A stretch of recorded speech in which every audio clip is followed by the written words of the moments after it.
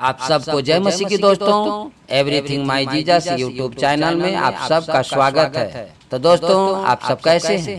मैं आशा करता हूँ कि आप सब प्रभु यीशु मसीह के मीठे और पवित्र नाम में आप आनंदित और आशीषित होंगे। तो दोस्तों आज का हमारा विषय है कर्ज के बारे में। जो कर्ज से सारे संसार में लोग हैं जे। दबे हैं परेशान हैं बहुत से भाई बहन हैं जो कर्ज के चलते अपने आत्महत्या को कर लेते हैं। बहुत से ऐसे भाई हैं जो कर्ज के चलते एक दूसरे के बंधन और गुलामी में जीवन जीते हैं। तो मेरे प्यारे दोस्तों आज हम इस मुख्य विषय पे बातचीत करेंगे क्योंकि हमारे सब के लिए ये बहुत महत्वपूर्ण और ज़रूरी है। जो कर्ज से हम सारे लोग हैं इस संसार में सारे लोगों को देखते हैं कि वो परेशान हैं। तो ये मेरे दोस्तों आप इस वीडियो में अंत तक बने रहें और इस वीडियो को देखें। आज हम वचन से भी देखेंगे और प्रार्थना भी करेंगे। तो हम लोग देर न करते हुए वचन में हम लोग चलते हैं और इससे पहले मेरे प्यारे दोस्तों आपसे एक विनती और आपसे एक रिक्वेस्ट करते हैं कि अगर आप इस चैनल पे नए हैं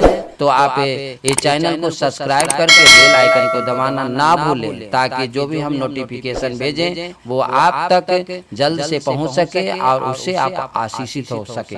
तो दोस्तों आगे को देर न करते हुए हम वचन में चलते हैं।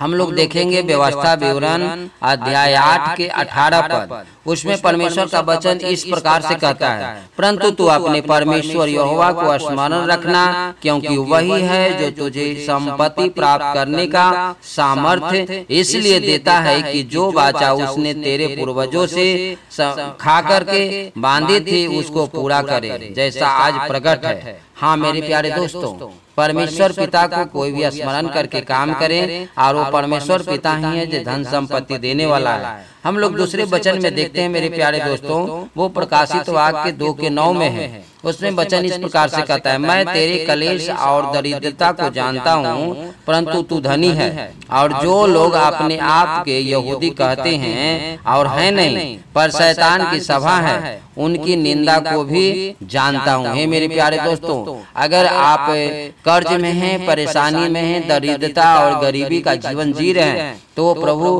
परमेश्वर पिता प्रभु यीशु मसीह जानते हैं। इसलिए हम लोग अगला वचन को देखेंगे।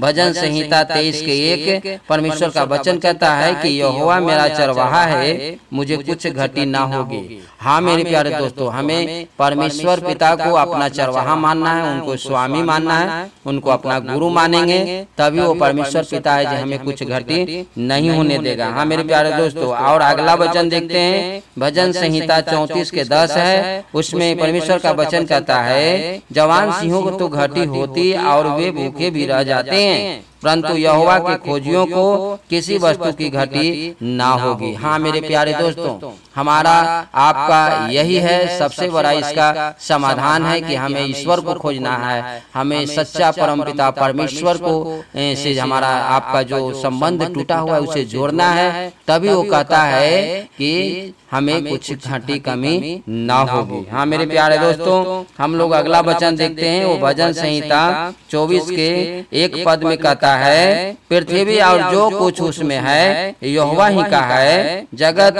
और उसने निवास करने वाले भी। यानी जो भी सारा चीज़ है ये यहुआ परमेश्वर ने बनाया है। धन संपत्ति ये जगत संसार में जितना कुछ भी हम सब आप देखते हैं मेरे प्यारे मसीही भाई बहनों वो सब चीज़ यहुआ परमेश्वर का है तो इसलिए हम सब उनके शरणों में आए और इस समय हम प्रार्थना करें अगर कोई मसीही भाई बहन या कोई गैर मसीही भाई बहन कर्ज से डूबे हुए हैं और उनको लग रहा है कि मेरे अंदर अब कैसे हम कर्ज को दे सकते हैं उनको ऐसा लग रहा है कि हम अपने आप को नाश कर लें और किस तरह से है जो हम अपने आप को है जो उसे छुटकारा पाए तो मेरे प्यारे दोस्तों छुटकारा पाने का वो उपाय नहीं है। छुटकारा पाने का उपाय है कि हम सब यह परमेश्वर के शरण में जाएँ। हम सब प्यारे प्रभु यीशु मसीह के शरण में जाएँ और उनके पास गिर गिराएँ और उनसे दुआ करें प्रार्थना करें क्योंकि हम लोग जो वचन को देखे सब कुछ को उसी ने बनाया है और संसार के जितने भी चीज़ हैं सब उसी के हाथ में है।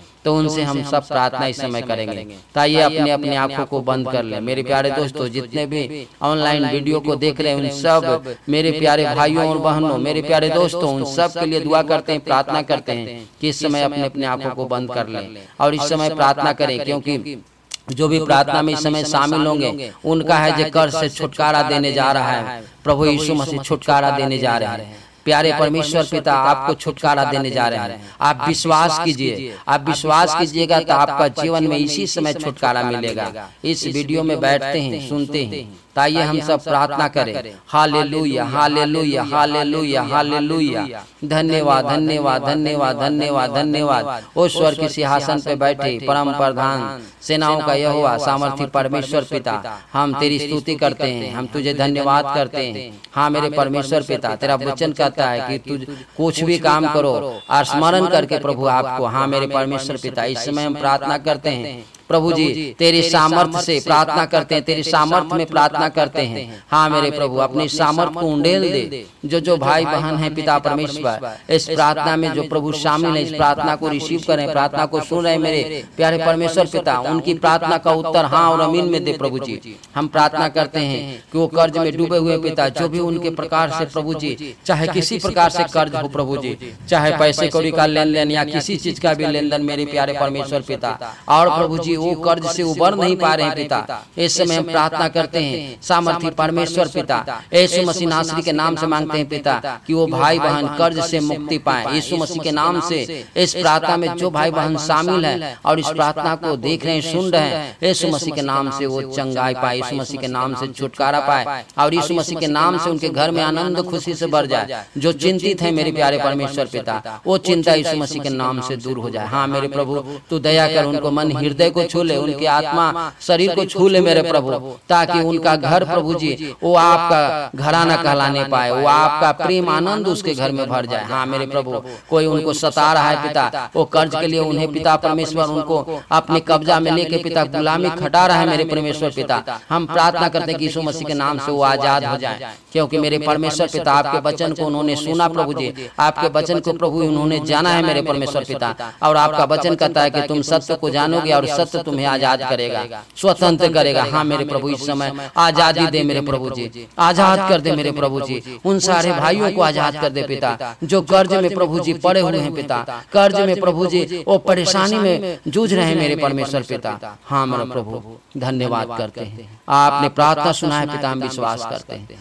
सारी बातों में आदर महिमा देते हैं। प्रार्थना यीशु मसीह के नाम से मांगते हैं। सारे लोग कहें आमीन धन्यवाद आप सबको अंत तक वीडियो में बने रहने के लिए प्रभु आप सबको ढेर सारे आशीष दे और इस प्रार्थना से हाँ और अमीन में आप सबके घर परिवार में उत्तर मिले। God bless you